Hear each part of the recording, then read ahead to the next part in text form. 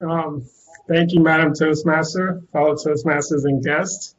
My name is, well, she said it already, but my name is Fawaz Joseph, and I am here to talk to you about one of the aspects of my life that was changed by the quarantine and just generally how I've had to to this year.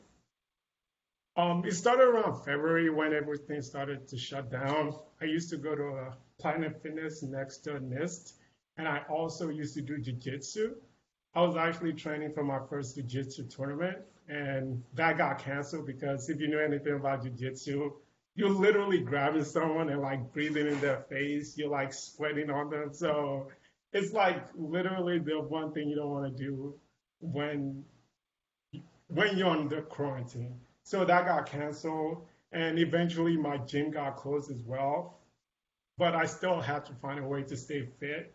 I used to even go from NCNR building to the 101 building doing lunch. I used to walk, which takes about 15 minutes, but then we got to like um, work from home and I couldn't do that anymore. I tried to find other alternatives. I tried to run outside, but I didn't really like. Well, one, it was still kind of cold when it, you know, when I was like thinking about it, and the weather was just not uh, cooperating sometimes. So I was just not feeling it, and I was um, researching new ways to kind of find to to stay fit, to actually work out, and I ended up choosing. Uh, I ended up buying a book about kettlebells and buying two kettlebells, which was actually pretty lucky because just like toilet paper, kettlebells became really scarce for some reason. Like you couldn't get them anywhere. I had to go to Walmart in Mount Airy and I still didn't find it. I went to Target in Falls Church and I still couldn't find it. So it was weird. It was weird that but some, I think everyone had the same idea as me. Like we can't work out anymore, so let's buy up all the kettlebells. But I was able to get one, and I was able to get another book, and it talked a little about the history of kettlebells. It, I'm, oh, I have it right here. It's kind of like a cannonball with like uh, a handle. So yeah, the shape kind of lends it to a lot of swing exercises and I'll talk about that later. But it started in Russia around. It, it started in Russia around 1700s, and it was called. I'm gonna butcher this. I'm not a, a native Russian speaker. It's called a Girya, G-I-R-Y-A, and it actually used to be used as the unit of measurement. It's called a prud, like 35 pounds, which is kind of like coincidental because I work at the National Institute of Standards and Technology, and we kind of do measurements so farmers would kind of weigh their crops against like a prud or a girya. But along the way, since it was heavy, people would just kind of lift it and they figured they could use it as a way of working out. I mean, the book I got this from is pretty biased because it's about kettlebells, but it does it does list one of the advantages as it has you use more of your body in very uh, kettlebell specific exercises as opposed to like the gym machines where you isolate um, muscle. But even in um, exercises, my favorite exercise is called a dead clean. Even in exercises like that, you kind of have to use your leg to pick it up. In a dead clean, you pick up the kettlebell, but you use your leg to pick it up. And the core is always, you always use your core.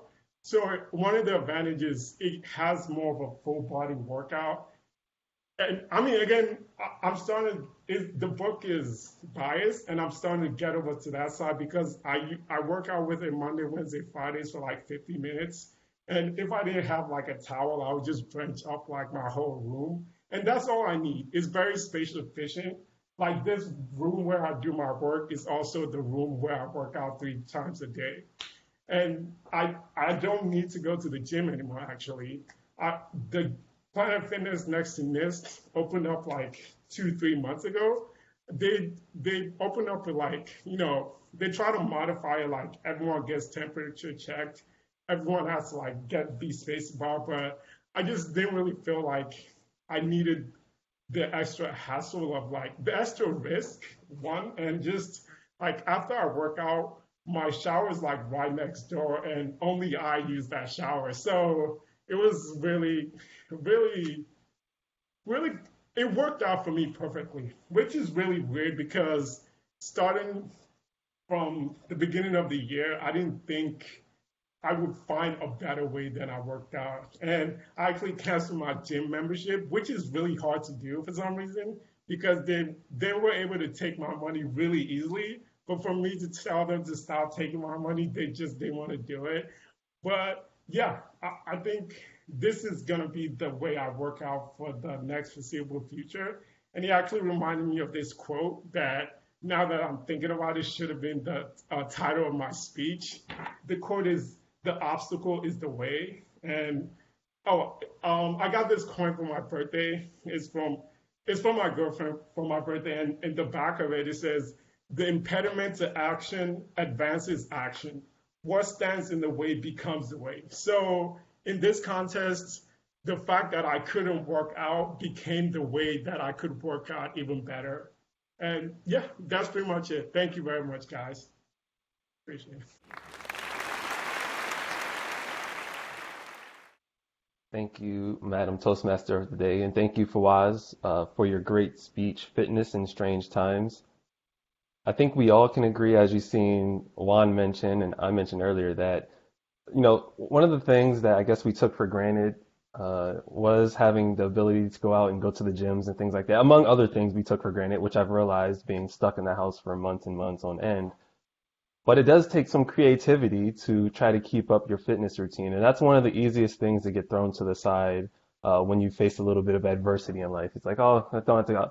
One thing gets, gets pushed to the side, it's the gym. So uh, I think your speech really resonated with what most of us are going through right now.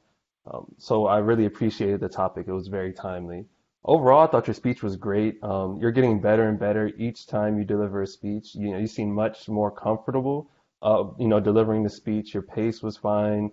Um, you didn't seem flustered at all. You, you know, you were just, it seemed like a conversation you were having with us. And I thought that was, uh, it showed great improvement. And, you know, I really enjoyed listening to that and, and watching you grow over these, you know, these few speeches. I'm always interested when you say you do jujitsu. Um, uh, it's, it's, you know, I don't meet too many people that do like martial arts or anything like that anymore. So it's very interesting to see you do that. And I've always been intrigued by it one of my best friends growing up had a had a karate studio. I think it was in uh, jujitsu and may have been something else as well. Um, and, and so I was always really involved with it and wanted to do it, but I could never get into it. So that was one thing that poked out to me, you know, from your speech. But overall, you know, I thought it was it was very interesting. Um, one thing that I think uh, could have could have um, brought some power, more power to your speech, which I think you picked up on on at the end, was to potentially take that quote that you ended on. Um, the what's the impediment to action becomes action and sort of what's standing in the way. I think that really framed well, you know, what your speech was about. So at first, you know, you found that you couldn't, you know, you couldn't continue the same exercises that you had been doing prior to the pandemic outbreak. So you weren't able to go to the gym and you weren't able to do your walk. So, but after a while, you figured out that, okay, just because I'm not able to do that doesn't mean I'm not able to exercise. So you figured out what the impediment was. It was really in your mind, and then you figured out a creative way to overcome that sort of impediment, and you know you took action on it. So I think that would have been a great way to frame your speech. And also, I think that the intro was a little um, slow to get into it. So this could have been a great way to strengthen that intro, which in turn could have, you know, uh, sort of springboarded us into your speech. Um, but you know, I thought it, I thought it was great overall. You touched on a variety of topics, a lot of which left me with some more interest. So I was interested in sort of why you got into the kettlebells. I was interested in the book. So were the books history related or were they actually telling you different exercises that you could do or was it a combination of both? Um, and then you mentioned your favorite exercise is a dead clean. So I was interested in what that actually means. I have a good understanding of it, but I'm not sure if everybody else in the audience was. But I did appreciate that you showed us the kettlebell because that's also something I'm not sure everybody in the audience may have known about. So you did a great job there. Um, and then, then I totally relate with having issues canceling the gym membership. They always make you come in, sign all these documents. You can't email it. You have to be there in person. So I can totally relate with that. So Fawaz, you did a great job. Really enjoyed hearing your speech and I look forward to many more. Thank you.